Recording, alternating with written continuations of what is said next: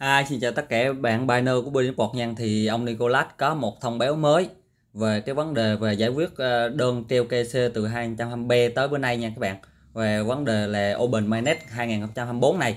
Đó thì ờ, các bạn kích vào cái chỗ này. Đây nha các bạn chịu khó nghi và để thành đọc cho các bạn chịu khó nghi nha. Cập nhật quy trình KC dành riêng cho người tiên phong trong thông báo về kế hoạch mạng mở gần đây của chúng tôi, vào ngày 27 tháng 12 2023 chúng tôi để chia sẻ định thêm dê, giai đoạn mạng mở của Mainnet vào 224 thì có nghĩa là ông Nicolas nói như thế này, thì 224 này thành chắc chắn là 98% là Mainnet mở rồi nha các bạn. Về ba điều kiện quan trọng đó, đặc biệt, các mốc quan trọng trong điều kiện 1 và 2 phụ thuộc vào nỗ lực phi tập trung của người tiên phong về nhà phát triển cộng đồng về nhóm nòng cốt hôm nay, chúng tôi muốn cung cấp thông tin cập nhật về trình gần đây của một trong những số dữ liệu quan trọng quy trình KC cột mốc KC có nghĩa tối quan trọng đối với sự thành công của mạng mở về hệ sinh thái phù hợp với tầm nhìn của Bi nhằm xây dựng hệ sinh thái ngang hàng về toàn diện mới nhất thế giới và trải nghiệm thực trực tuyến đích thực được thúc đẩy bởi Bi thì thành đã từng nói rất là nhiều lần, thì muốn mạng mở mainnet mở là cái vấn đề KC rất là quan trọng. Đó, là giải quyết được cái ờ, vấn đề KC bị treo đơn đơn vàng này hoặc là đơn màu tím này mà bị treo lâu chưa vào ví này đó. Như để nêu thông báo về kế hoạch mạng mở, cột mốc KC chủ chủ yếu được thúc đẩy bởi những nỗ lực phi tập trung của cộng đồng với sự nỗ lực của nhóm nằm cốt phần KC này hôm nay đặc biệt cung cấp thông tin cập nhật về tiến trình gần đây của nhóm đồng cốt lỗi việc bỏ chặn các ứng dụng là của người tiên phong bị mắc kẹt trong ờ, quy trình sơ đó những người tiên phong đời đầu á sơ 5.000 bi 10.000 bi hai ba chục nghìn bi á, bị treo đơn rất là lâu duyệt về rất là lâu về. Thì bởi vì bị chặn bởi cái vấn đề là bị lỗi trong cái người tiên phong đời đầu làm sơ bị lỗi nha các bạn. Có nghĩa là cách sửa tên, sửa đi sửa lại nhiều lần hay sao đó. Cộng đồng đạt các mục tiêu KC của mình, chuẩn bị cho mạng mở. Xác định giải quyết vấn đề, cốt lõi. Một trở ngại lớn trong quy trình KC của chúng tôi là ứng dụng bị thiếu nè. Hoặc nhập thông tin là không chính xác. Đó. Những người bị nhập thông tin không chính xác và hoặc là bị thiếu rồi vấn đề đó thì bị treo rất là nhiều nha các bạn. Sự cố này đôi khi xuất hiện nhỏ nhưng làm chậm đáng kể hiệu quả xử lý tình trạng thiếu, có thể do nhiều nguyên nhân.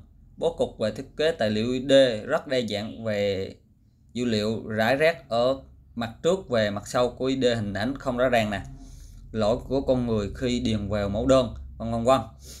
Những lỗi nhỏ, chẳng hạn như là bỏ sót nè, chi tiết hoặc dữ liệu không khớp nè, dẫn đến sự chậm trễ trong việc xác minh và tạo ra tình trạng mắc nghẽn hệ thống để xác minh bạn nhanh chóng và an toàn, chúng tôi cần tất cả dữ liệu KC của bạn phải chính xác nè.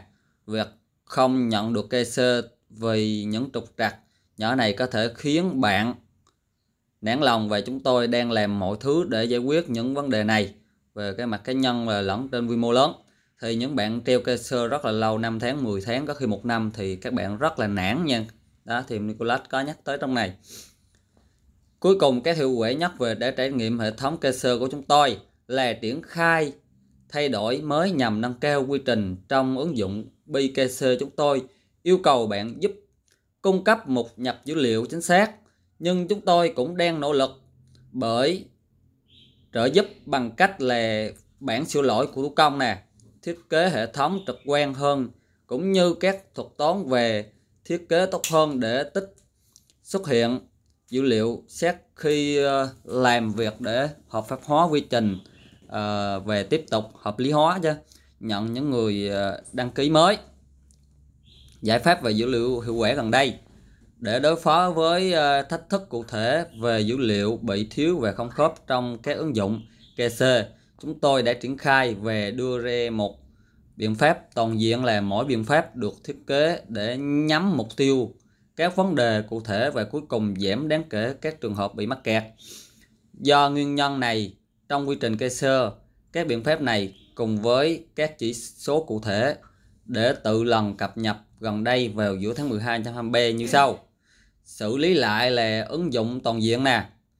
Trước tháng 11 năm 2023 có tổng cộng là 1,5 triệu ứng dụng bị mắc kẹt nha. Ờ, cho quy trình kê sơ cho thiếu dữ liệu trong uh, ứng dụng của họ nè chúng tôi đã cải tiến mẻ để trích xuất dữ liệu từ tài liệu ID nè.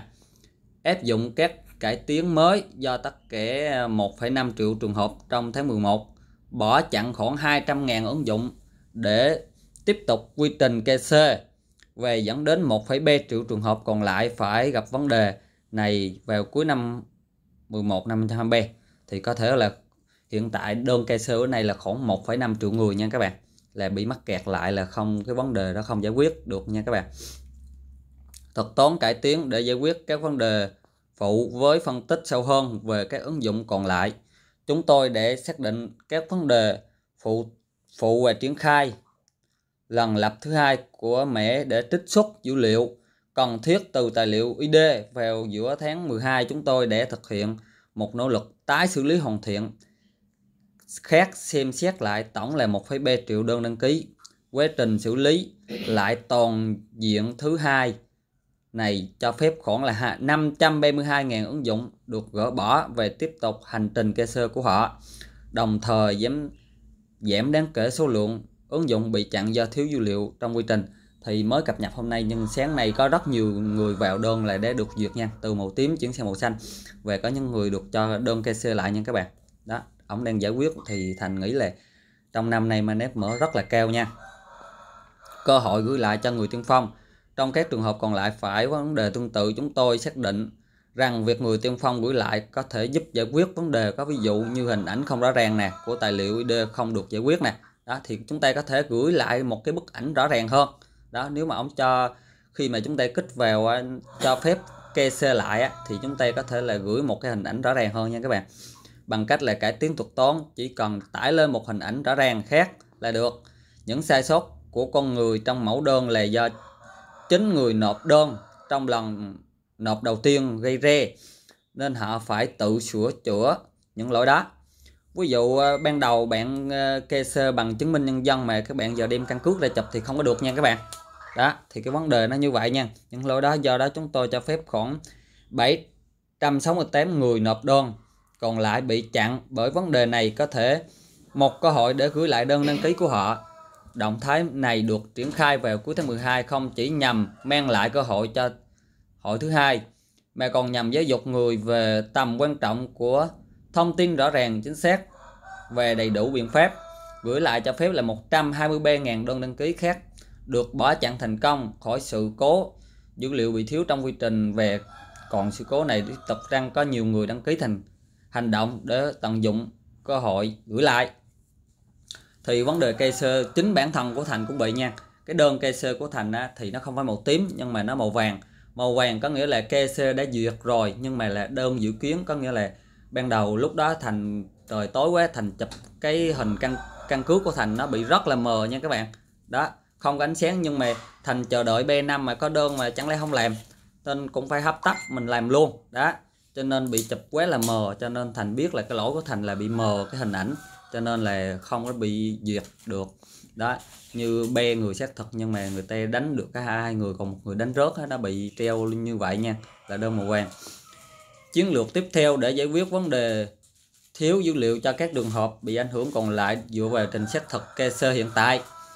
Thiết kế và hướng dẫn mới cho nhiệm vụ này dành cho trình xác thực để được phát triển về thử nghiệm đồng thời sớm được triển khai dần dần trình xét thực dựa trên hiệu suất trước đó của họ. Để giúp giải quyết vấn đề này về bỏ chặn thêm các ứng dụng ảnh hưởng bởi dữ liệu bị thiếu không thể giải quyết bằng thuật toán thông qua các que việc gửi lại. Đó. Thì nói chung cái vấn đề nó rất là dài trong đây nha các bạn. Đó, rất là dài nên thành không có đọc hết được. Đây nè cải thiện khả năng xử lý video trực tiếp nè có khoảng là 153.000 đơn đăng ký kê sơ trước tháng 11 năm b. Để bị kẹt trong quy trình do là không xử lý được video trong lần đầu tiên nè. Sau khi kiểm tra vấn đề một biện pháp phù hợp để được triển khai để xử lý lại video của gửi của các ứng dụng này và được triển khai và triển, triển khai vào tháng 11 năm 500 B giúp giảm lượng tồn động xuống chỉ còn là 19.000 người tiên phong cần cái biện pháp tiếp theo. Đó bỏ chặn các vấn đề về hình mờ này đó hình mờ đây là cái cố thành này cái, cái kiểu này nè vào tháng 12 năm 2023 một biện pháp chuyên biệt để được triển khai để khắc phục một số lỗi trong việc thêm hình mờ vào hình ảnh khiến một số ứng dụng không thể truy cập được. Giải pháp này để giúp 1.367 người tiên phong mở khóa thành công để tiếp tục quá trình KC của họ. So sánh tên và khiếu nại. Cái phần tên này thì hồi lúc trước Thành không có đơn KC là bởi vì Thành sửa tên đi sửa lại rất là nhiều. Bởi vì người tiên phong mà người ta phải đi đầu, người ta không có làm chuẩn được nha các bạn. Người ta phải sửa đi sửa lại. Thì cho nên đơn nó rất là lâu, thì cuối cùng cũng có thực phức tạp trong việc xác minh rằng có tất cả các tên ID KC tên tài khoản bị của họ bị khiếu nại, được liên kết với một tài khoản đều đề cập đến cùng một người trong quy trình KC cũng khiến nhiều đơn đăng ký không thể tiếp tục. Mặc dù hầu hết việc so sánh tên đều được thực hiện bằng máy, nhưng có những trường hợp cuối cùng không thể giải quyết được bằng thuật toán. Các hướng dẫn về thiết kế mới đã được triển khai và phát hành cho người xác thực. Đáng tin cậy. Lời khuyên cho dành cho người tiên phong nè, để quá trình cây sơ xuân sĩ nè. Rút ra những gì chúng tôi đã học được khi giúp giải quyết các trường hợp bị mắc kẹt. Khác nhau, chúng tôi cũng muốn chia sẻ với người tiên phong một số mẹo để giảm khả năng bị mắc kẹt này trong quy trình cây sơ giúp bạn đạt được tiến độ uh, nhanh hơn nè trong uh, tài liệu cây sơ này thông tin đầy đủ nè. Đảm đảm bảo tất cả dữ liệu đặc biệt là những chi tiết quan trọng như ngày sinh hoặc là ngày hết hạn của tài liệu ID nè được điền chuẩn xác nè. Đó hình ảnh tài liệu chất lượng cao nè gửi hình ảnh rõ ràng đủ sáng. Về giấy tờ thì thân của bạn về một video sống động rõ ràng. Ừ quốc gia gửi ID chính xác nè. Quốc gia phát hành tài liệu ID phải khớp với quốc gia chọn được trong danh sách. Thẻ xuống ở đầu đơn đăng ký KC nè. Đó, gửi tài liệu ID nhắc quán, đảm bảo loại ID bạn khớp với loại bạn để chọn trong mẫu đơn à, đăng ký của mình nè. Ngôn ngữ nhất quán trong à, nhập dữ liệu nè. Nhập thông tin chi tiết của bạn vào mẫu đơn đăng ký bằng ngôn ngữ chính xác nè. Như chúng tôi xuất hiện trên ID của bạn nếu trên giấy tờ thì thân của bạn bằng ngôn ngữ mị đĩa của bạn, vui lòng điền vào biểu mẫu bằng tên của mị đĩa nha. Đó. Nói chung là cái vấn đề này ông Nicolas đang giải quyết thì thành chắc chắn rằng là giải quyết xong 204 đây về mà nét mở luôn. Đó. Nha các bạn. Thì các bạn thấy chia sẻ thành hay cho thành một like một đăng ký kênh nha.